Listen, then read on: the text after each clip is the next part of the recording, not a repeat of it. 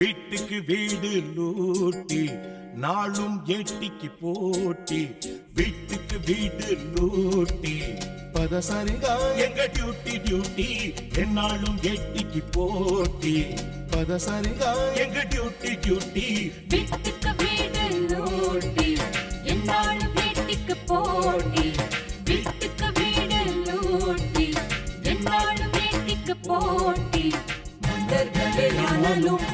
மாச கடைசி pocket empty மன்னர்களே ஆனாலும் மாச வீட்டுக்கு வீடு நூட்டி என்னாலும் வீட்டுக்கு போட்டி.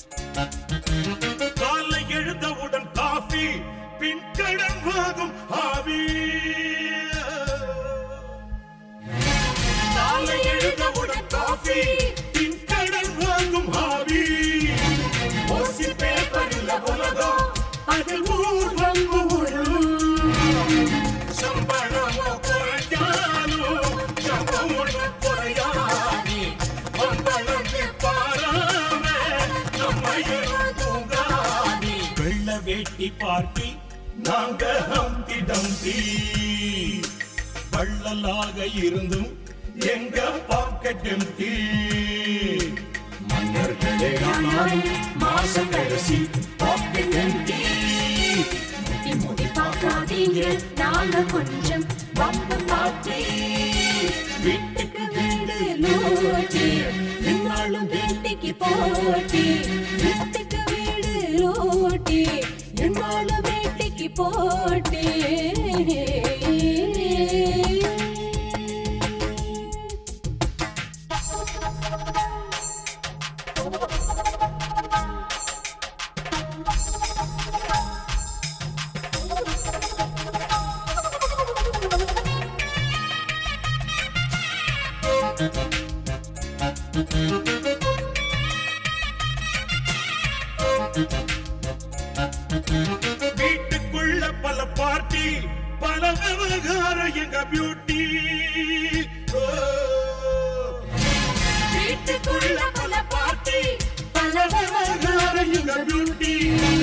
ஒருத்திக்கு ஒருத்தி ஈகோ.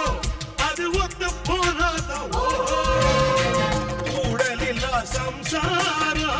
உப்பில்லாத சாப்பாடு. ஏறி இறங்கும் விலவாசி எப்போதுமே கூப்பாடு கொக்கு மாக்கு பாட்டி நாங்க ஹம்டி டம்டி சொத்து பத்து இல்ல நாங்க ஹம்டி டம்டி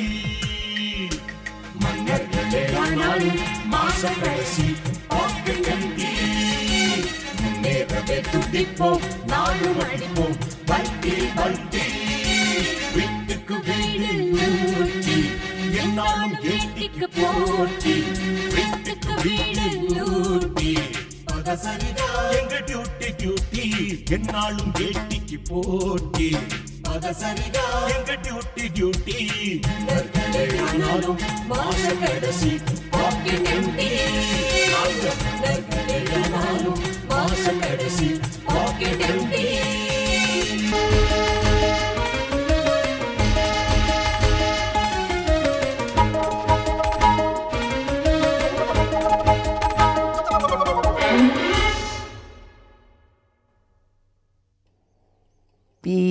PS Kalyanam. PS Kalyanam. PS Kalyanam. PS Kalyanam. ஏய் லக்ஷ்மி. டெய்லி நாற்பத்தோரு தடவை. நாற்பத்தோரு நாளைக்கு. என்னோட பேருக்கு நடுவில் எக்ஸ்ட்ரா ஒரு ஏ சேர்த்து பிஎஸ் கல்யாணம் அப்படின்னு மாத்திருக்கேன். அப்பா வச்ச பேரு?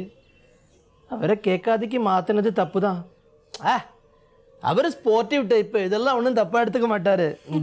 பார்த்து உயிரை எழுதுற நேரம். நோ ப்ராப்ளம் ரப்பர் எஸ்டேட் தானே அது பாட்டுக்கு கோர்ட்டில் எடுத்துட்டு இருக்கட்டும். சரி சரி வேற ஏதாவது பேசலாமா? பேசலாமே. லக்ஷ்மி இந்த பிஎஸ் கல்யாணம் எப்படி இருக்கு? ம் ஹாயா கொட்டை விடுற மாதிரி இருக்கு. அது சொல்ல சொல்ல பழகி போயிடும். நோக்கு ஒரு விஷயம் தெரியுமா? இந்த பேரை மாற்றின டுவெண்ட்டி ஃபோர் ஹவர்ஸ்க்குள்ள ஏதாவது ஒரு மேஜர் சேஞ்ச் தெரியும்னு அந்த ஜோசியக்காரன் என்கிட்ட சொல்லியிருக்கான். சேஞ்சு தானே? நான் வேணா கொஞ்சம் சில்லறைய தரையில போட்டு வைக்கிறேன்.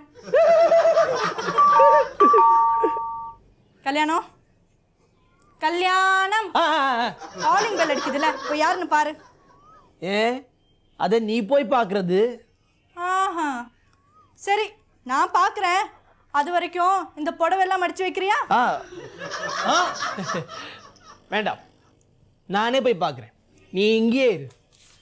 யாராக்கும் அது. இந்த நேரத்தில்.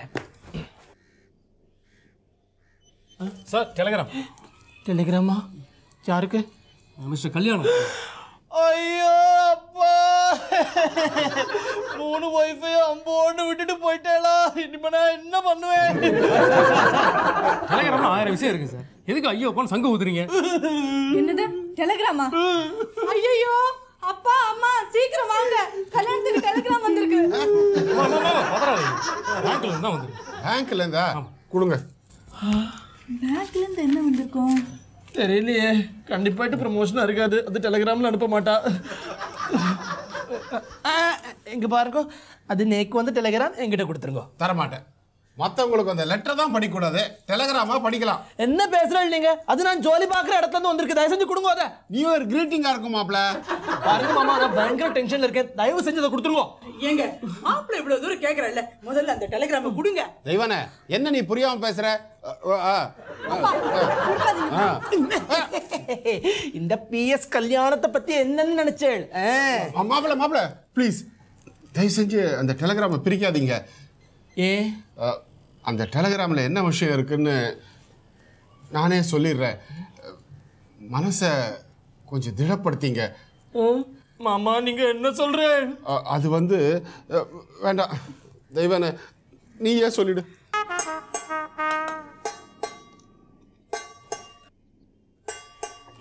பிரேமா கோஸ் ரொம்ப நல்லா இருக்கு.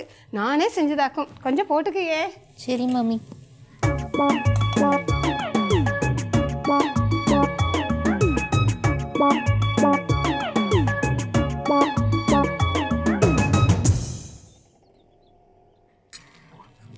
அஞ்சு சாப்பிடாம இன்னும் என்ன யோசனை? அஞ்சு விக்ரம் வரலேன்னு கவலைப்பட்டது போதும். சாப்பிடு. ஏ பிரேமா என்கிட்ட நீ உத வாங்குவ. நானே அந்த பிளேடு கிட்ட இருந்து எப்படிடா தப்பிக்கிறதுன்னு தெரியாம முழிச்சுக்கிட்டு இருக்கேன். இதுல நீ வேற. ஏய் அஞ்சு நீ பேசாம நம்ம விக்ரம ஈவ்டிசிங் பிளானில் சிக்க வச்சுட. நீயும் ரிலீஃப் ஆயிடுவ. நம்ம ப்ராப்ளமும் சால்வ் ஆயிடும். கரெக்ட் மாமி. இதையே தான் நான் ரொம்ப நேரமாக திங்க் பண்ணிட்டு இருக்கேன் ஆனால் அந்த விக்ரம் என்கிட்ட வழியறத நான் அப்படியே டேப்பில் ரெக்கார்ட் பண்ணி கொண்டு போய் மேடம் கிட்ட கொடுத்தேன்னு வச்சுக்கோங்க. என்ன சொல்லுவாங்க தெரியுமா? அவன் எங்க உன்னை ஈவ்டீசிங் பண்றான்? அவன் உன் மேல இருக்கிற நெஜ அக்கறையில தான் வழியிறான். All of you please get out அப்படின்னு சொல்லுவான் கரெக்ட் கரெக்ட் அஞ்சு நம்மளை தவிர வேற யாராவது லேடிஸ் விக்ரம் மேல ஈவ் டீசிங் கேஸ் போட்டா அந்த கேஸ் ஜென்யூன் ஆகும் இல்லையா? வாவ் எக்ஸலண்ட் ஐடியா போ. நீ இப்போ என்ன பண்ற? உடனே ஆஃபீஸை விட்டு வெளியில போய் கண்ணில் படுற முதல் பொம்பளை கிட்ட மேடம் மேடம் எங்க ஆஃபீஸில் விக்ரம் விக்ரம்னு ஒரு ஜொல்லு பார்ட்டி ஒன்று இருக்கு. அவர் மேலே ஈவ் டீசிங் கேஸ் போடுங்க. அப்பதான் நாங்க எல்லாரும் எங்க எடிட்டர் கிட்ட நல்ல பேர் வாங்க முடியும்னு சமத்தா சொல்றியாடி என் செல்லம்? நான் அது எப்படி முடியும். ஆளையும் ஐடியாவும் பாரு. ஐயோ. நம்ம ஆஃபீஸில் நம்மளை தவிர வெளியில் இருந்து வர்ற பொம்பளைங்கன்னு பார்த்தா ஒரே ஒரு குண்டு போஸ்ட் உமன் மட்டும்தான். அஞ்சு அஞ்சு. அந்த குண்டு போஸ்ட் உமனுக்கு நம்ம விக்ரம் மேலே லவ் ஆக்கம். எனக்கு தெரியும். I know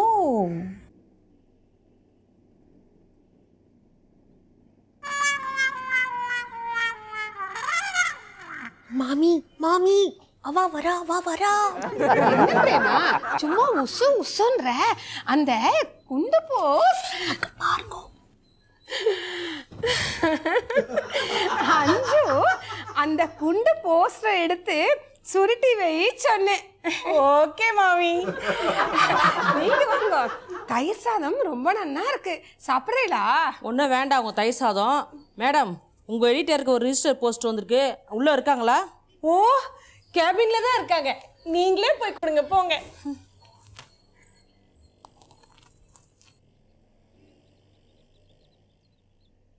madam Vikram sir இன்னும் வரலையா? விக்ரம் சாரா? இதோ இப்போ வந்துடுவாரு. நீங்க போய் மேடமை பார்த்துட்டு வாங்க. விக்ரம் சார் வந்தாருன்னா உங்களுக்காகவே இங்கேயே வெயிட் பண்ண சொல்றேன். ஓகேவா? போங்க. தேங்க்ஸ்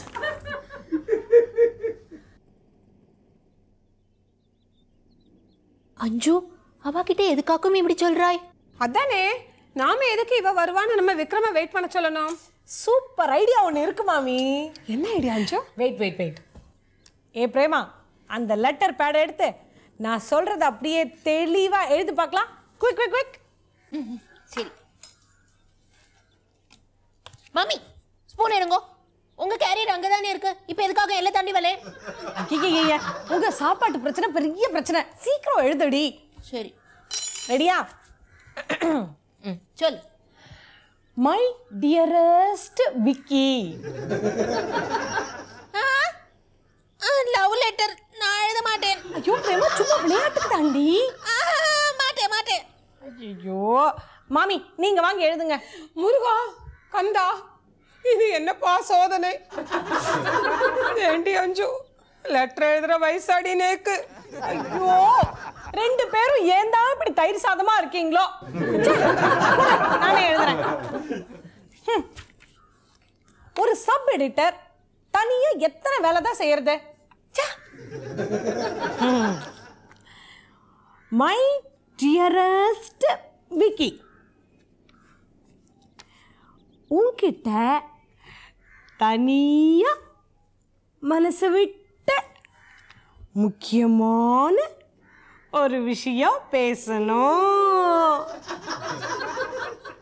மொட்டை மாடியில உனக்காகவே காத்துக்கிட்டு இருக்கேன் ஈஸ்வரா உடனே வரவும். என்ன இது சத்தம். இப்படிக்கு வித் லாட்ஸ் ஆஃப் லவ் அஞ்சு. சிவ சிவா. அச்சச்சோ. என்ன அச்சச்சோ? இப்போ பார் ரெண்டாவது லெட்டர் எழுதுறேன். ம்.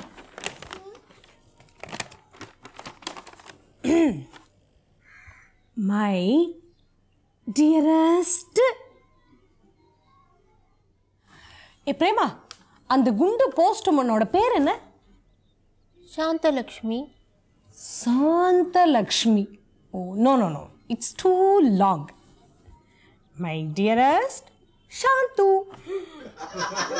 உங்ககிட்ட தனியா மனசை விட்டு ஒரு முக்கியமான விஷயம் பேசணும். ஈஸ்வரா.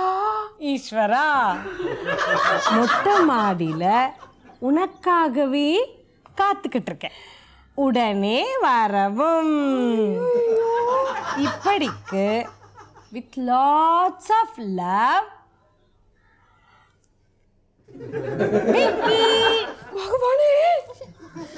போச்சு போச்சு. இவளால நம்ம எல்லாரும் மாட்ட போறோம். இப்ப அந்த போஸ்ட் விமன் இங்க வர போறா. கத்தாதடி. நீயே கத்தி ஊரை கூட்டிடுவ போல இருக்கு. அவளை ஏன் திட்டுற? ஆமா அஞ்சு இந்த லெட்டரை வச்சு நீ என்ன பண்ண போற? என்ன நடக்க போகுதுன்னு மட்டும் பாருங்க. சாந்தலக்ஷ்மி எழுதின இந்த லெட்டரை விக்கியோட மோட்டர் பைக்கில் சொருகிடுவேன். விக்கி எழுதின இந்த லெட்டரை சாந்தலக்ஷ்மியோட சைக்கிளில் சொருகிடுவேன். லெட்டரை படித்த ரெண்டு பேரும் அப்படியே ரொமான்டிக்காக மொட்டை மாடிக்கு போவாங்க. நம்ம அவங்களுக்கு தெரியாமல் டேப் ரெக்கார்டை எடுத்துக்கிட்டு மொட்டை மாடிக்கு போவோம். புரிஞ்சு போச்சு புரிஞ்சு போச்சு. விக்ரம் உன்னை எதிர்பார்த்து அங்க ஆசையோட வருவான்.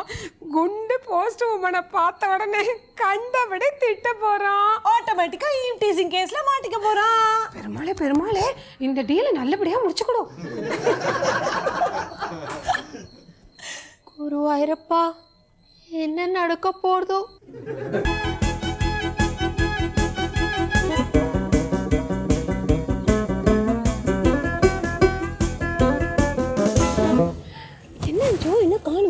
அஞ்சு கரெக்டா லெட்டர் எழுதினியா இல்லையா? ஐயோ அவசரப்படாதே. அவன் வருவான்.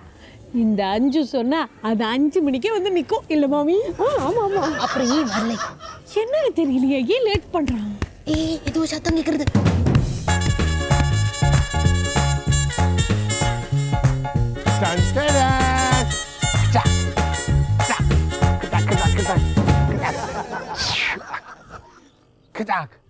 Ah, அஞ்சு அஞ்சு. அஞ்சு சீக்கிரமா அஞ்சு. அவள் வருவாளா? அவள் வருவாளா? வருவா. கண்டிப்பா வருவா. அஞ்சு உனக்காக எத்தனை வருஷ நாள் வெயிட் பண்றேன். Please Anju come on come on Anju come on come on Anju come on come on Anju. அவள் வருவாளா? அவள் வருவாளா? அஞ்சு சீக்கிரமா அஞ்சு சீக்கிரமா.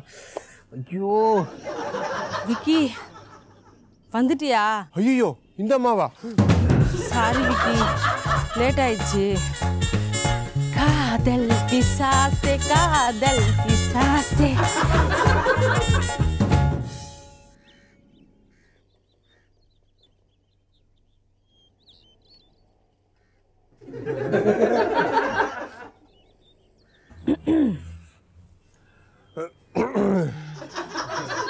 கரெக்டாக வெயிட் பண்ணுறீங்க போல இருக்கு. அஹ், ஆமா. ஆ, இல்ல இல்ல இல்ல.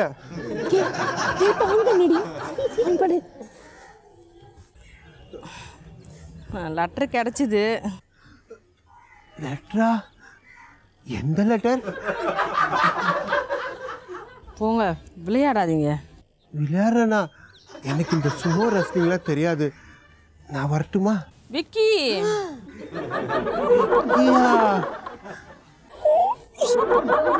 யார கூப்பிட்டீங்க? அப்படித்தானே லெட்டரில் சைன் பண்ணியிருக்கீங்க லெட்டர்ல சைன் பண்ணிருக்கேனா? ஐயோ நான் உங்களுக்கு எந்த லெட்டரும் அனுப்பல. என்னை நம்புங்க சிஸ்டர். என்னது சிஸ்டரா? பின்ன? லவ் லெட்டரை எழுதி என் சைக்கிளில் சொருவி வச்சுட்டு அதில் சொன்ன மாதிரியே மொட்டை மாடியில் வந்து வெயிட் பண்ணிட்டு சிஸ்டர் நான் சொல்கிறேன் மரியாதையாக ஐ லவ்னு சொல்லிடு. இல்லை யூடிசிங் கேஸில் பிடிச்சி குத்துறவா? சொல்லு. சிஸ்டர் கொஞ்சம் கையெடுக்கல மறுபடியும் சிஸ்டரா மேடம் கொஞ்சம் கையெடுக்கல அப்பாடியோ அதாவது வந்து மேடம் என்னையே பாருங்க. நான் என்ன சொல்றேன்னா அதாவது ஜாட்! ஜூட்டா? தோ வரேன்.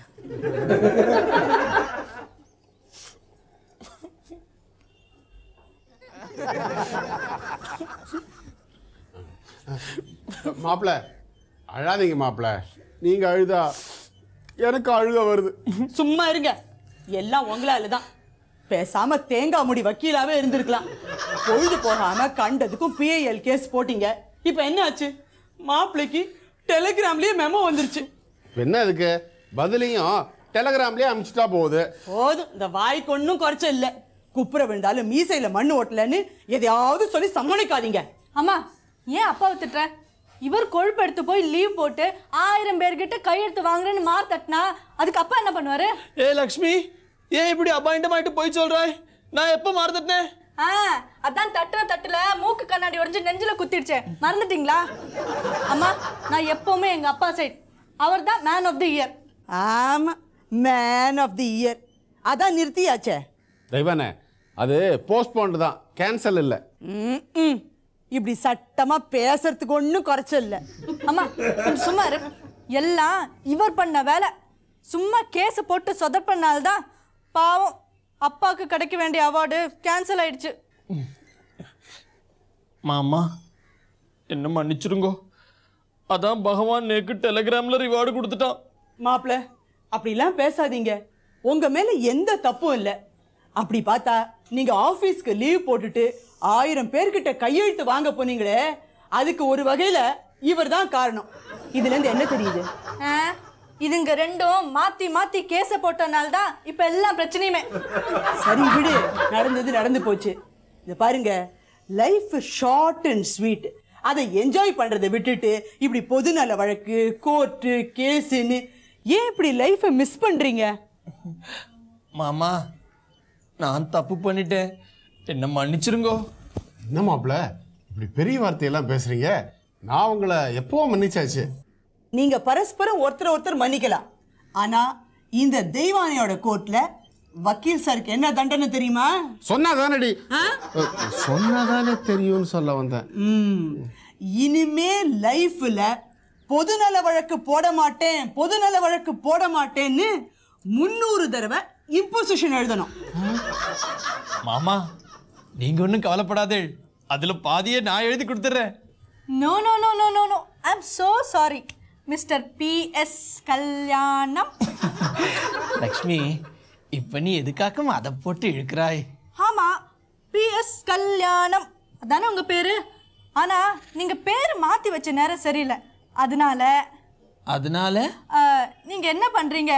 டெய்லி பிஎஸ் கல்யாணம்னு உங்க பேரை ஐம்பத்தோரு தடவை ஐம்பத்தோரு நாளுக்கு எழுதுறீங்க. அதுதான் பனிஷ்மெண்ட்